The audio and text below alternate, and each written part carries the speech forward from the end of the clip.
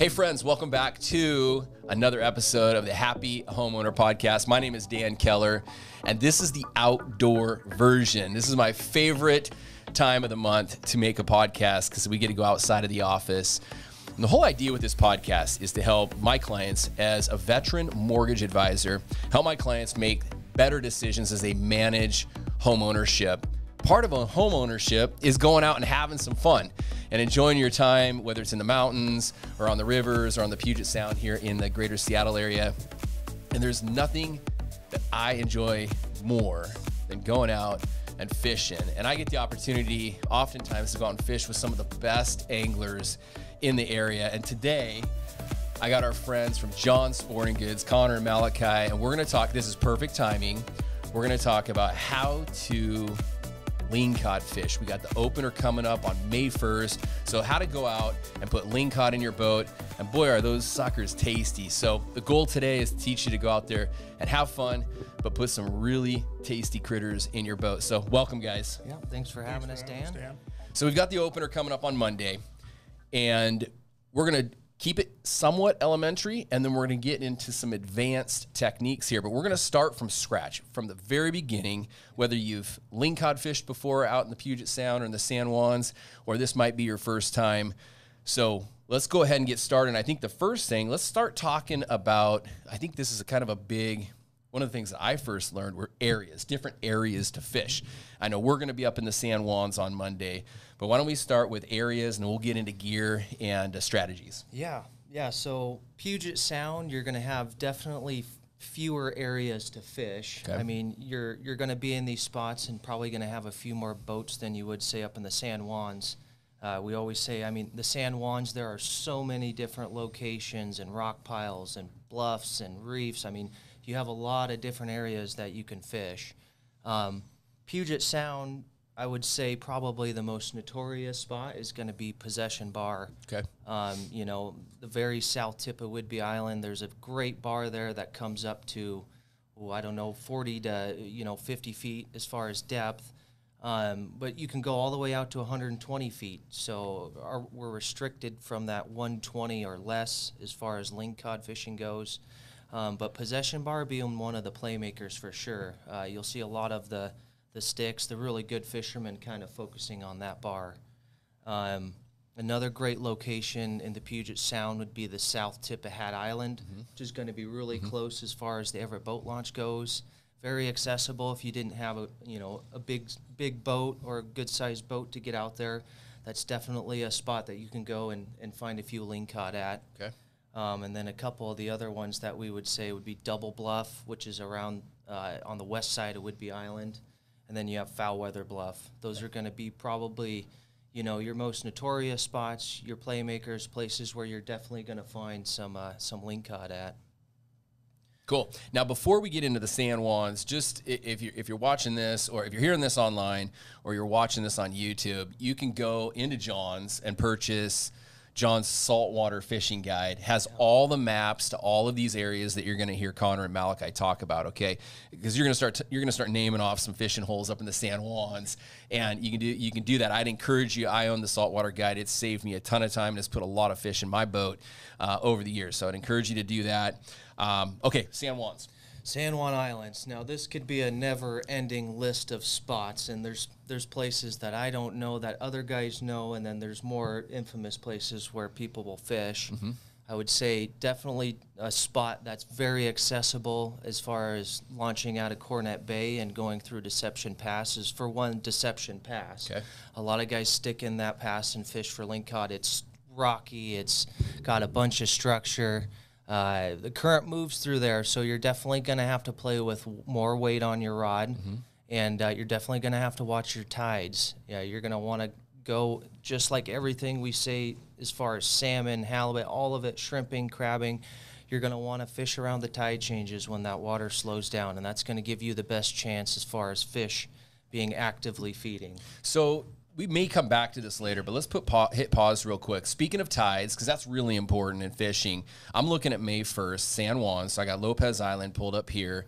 High tide is at 311. We have a 7.4 foot. Low tide is at 945, 3.1 foot. So talk to us about that. Is this a good lean cod tide? Yeah, yeah, you got it's definitely it's not a huge tide. It's definitely on the smaller end of things, so the water's not going to be moving quite as much.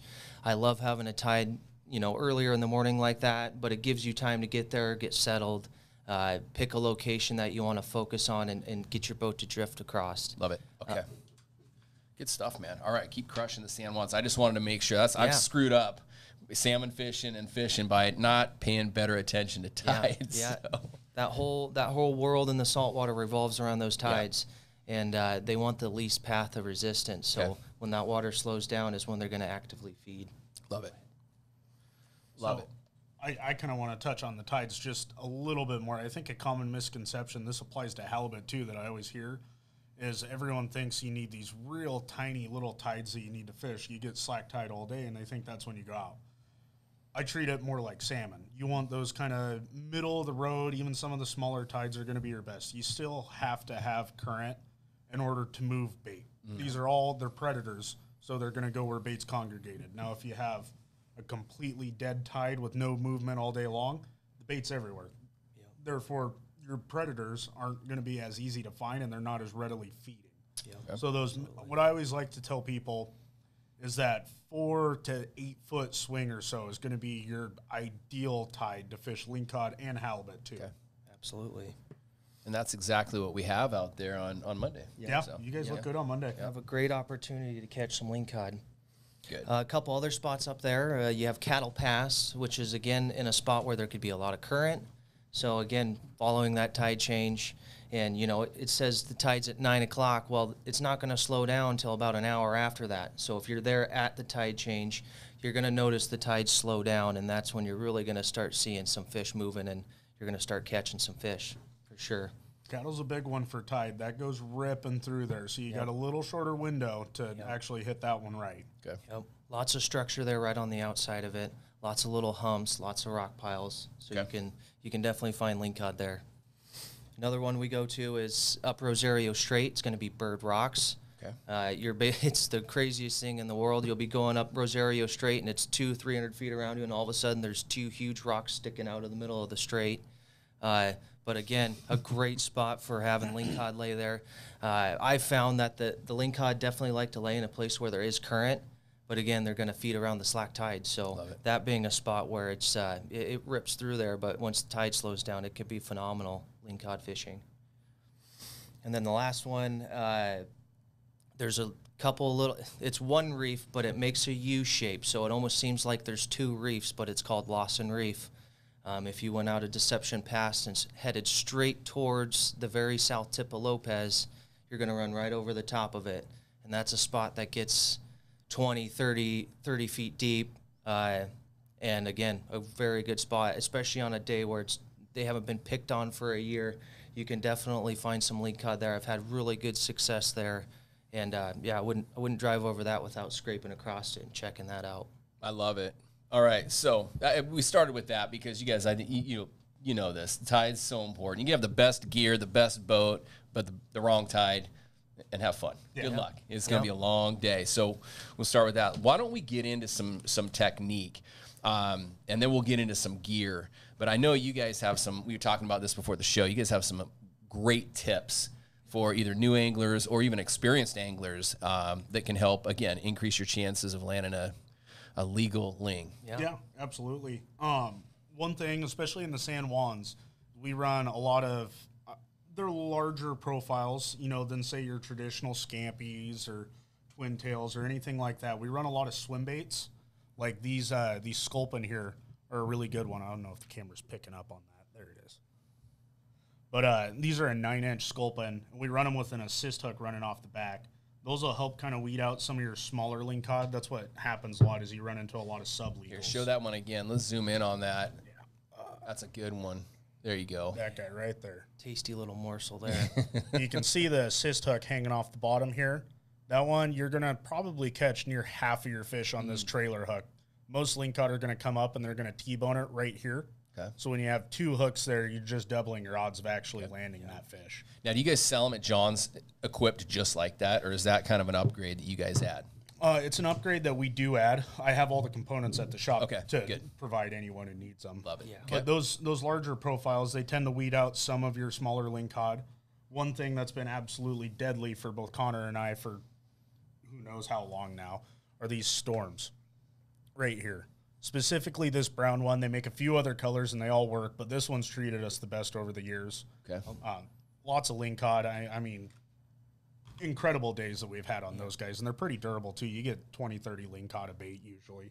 Yeah, we call matching the hatch. I mean, everything that's swimming down in a lingcod's territory is brown of some sorts. Okay. So that one to a T is ve- matching the bait very, very well. Okay.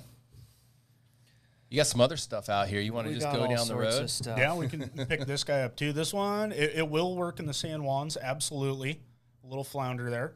Um, but this is really for the guys who don't want to get out and get their live bait or they can't find live bait that day.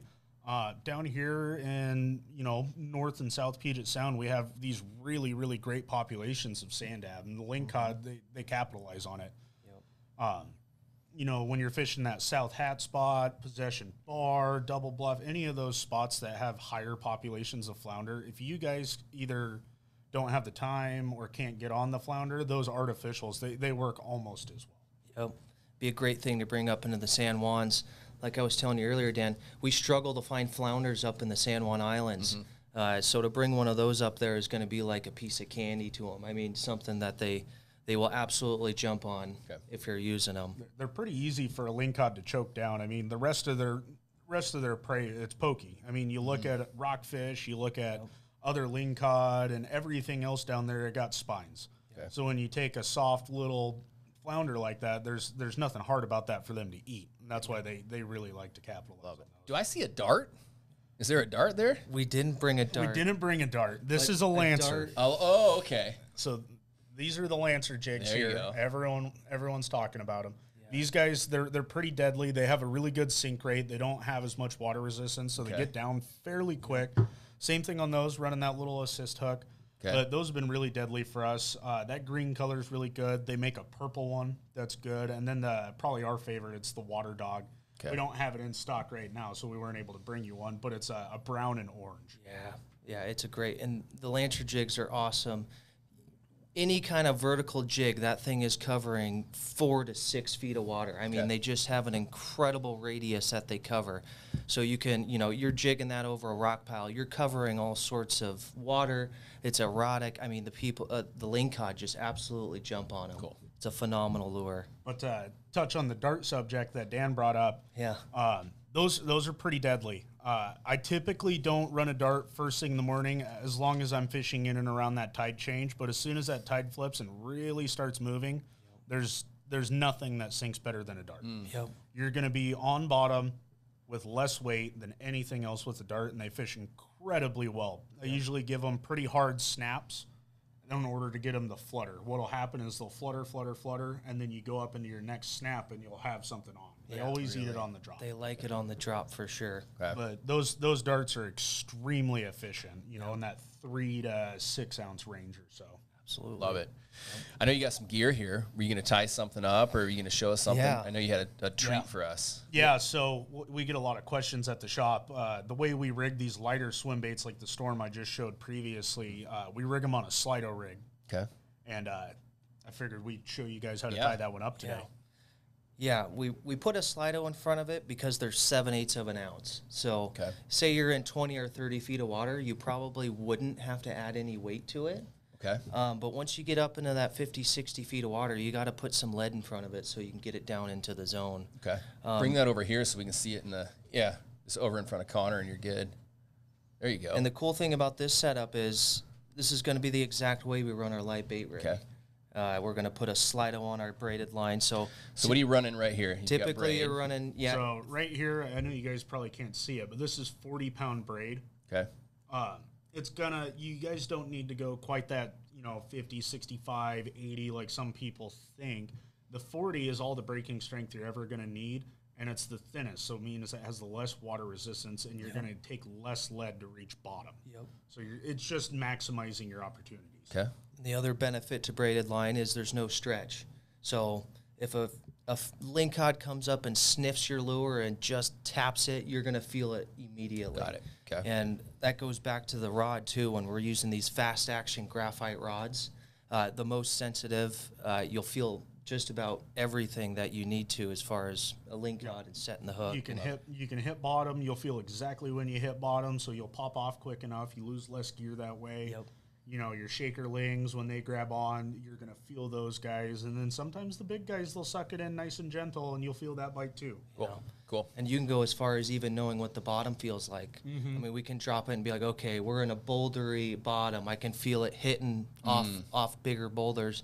Then you can go into like this is really tiny little rock. You know, it it's pretty unbelievable what these rods and this braided line. The combo is just perfect for what we're using them for. Love it. Love it. Yeah, let's show Ready them. to tie it up? Let's tie this all right. guy up for you guys. Let's see. Maybe I'll turn in this way and see if we can see it on the on the, the other camera. Yeah. So first thing we're gonna do is slide our Slido onto our So we got our line. main line here. And I got a sliding swivel right here. Mm-hmm. Slide that guy right onto our main line. Just like that.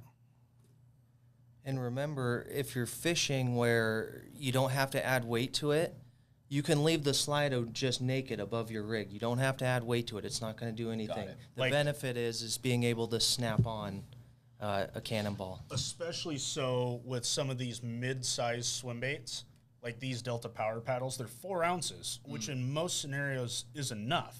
Yep. but you start getting into that tide change or you know you're just in a heavy current area Mm-hmm. you got to tack on extra weight so for these mid-sized baits this slido rig is excellent as well Yep. Hundred percent. okay so i got slido onto the main line here then what i'll do is i'll take a little barrel swivel like this guy and i'll attach that you guys can use a palomar knot a uni knot there's all sorts of ways to do it just make sure that the line runs through the eye of that swivel twice so your braid doesn't slip on you. I'm tying a Palomar here. And guys, I'm telling you, I've come down to your shop numerous times, and you've set me up. Yeah. You've tied some things for me. You've put gear together.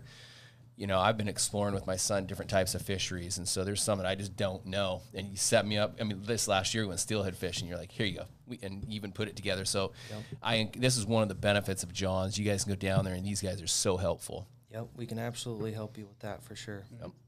So next step after you guys got your Slido and your barrel swivel attached, I'll take, you know, 24 to 36 inches of 50 pound leader material. It's not imperative your leader length. It's just to get a little distance from your lead. Okay. Um, and I will go ahead and attach that to the other side of the barrel swivel. And like I was touching with you before, with these storm swim baits, with this 50 pound leader, you get snagged up on the bottom with your swim bait. 50 pound, I'll be able to straighten my hook out, get my gear back, bend my hook back Oh, into there you go. place, and y- you lose less gear that way. Okay. Yeah. Then, last step, after Okay. you've tied on 24 to 36 inches of that leader material, take my swim bait, my, my larger power paddles, whatever. This is also how we do our live bait. I'll go ahead and I'll attach that guy on.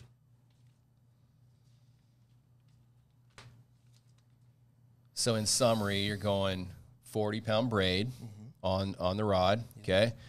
Um, Slido on the 40 pound. Slido, swivel, Yep. and then 50 pound leader. Yep. Okay. So here, there you go. There's how your rig will look. You'll have your Slido and your barrel swivel here. Then you'll have your leader material to your swim bait, or if you're fishing live bait, be your live bait or whatever you guys are using. Yeah. Okay. So we're up in the San Juans. Let's uh, we'll come back. We'll center this up. We're in the San Juans, and since we're on this, you've just tied this up. Talk to us how to fish it. Okay.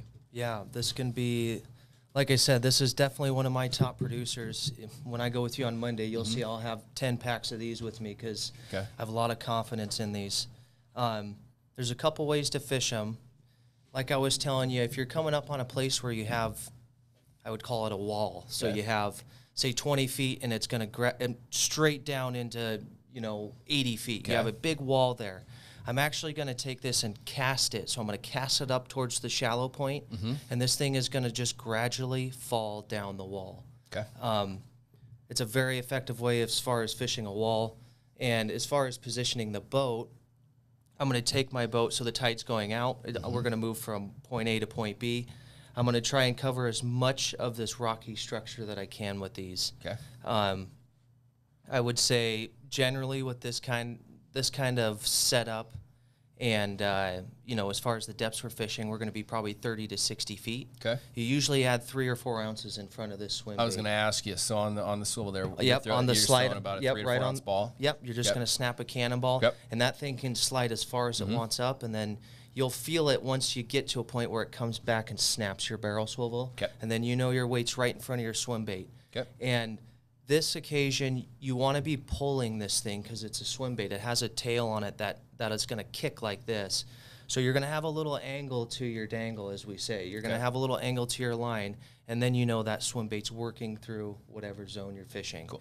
And this stuff should be, I mean, you're from five feet to the bottom. You're not dragging the bottom, but if you dropped your rod tip enough, you would tap the bottom and then bring it back up. Okay.